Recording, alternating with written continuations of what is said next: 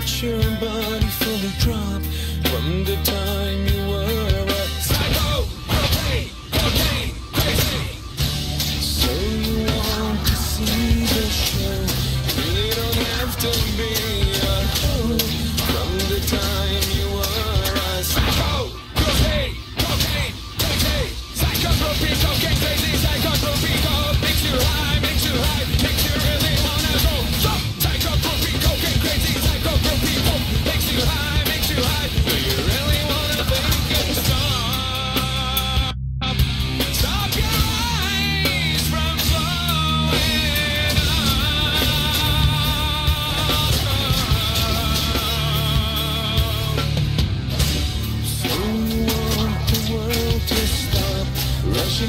let your spirit flow.